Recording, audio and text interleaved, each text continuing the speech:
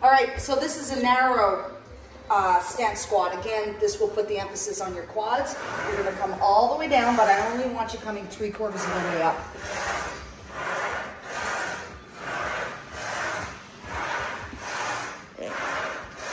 That's it.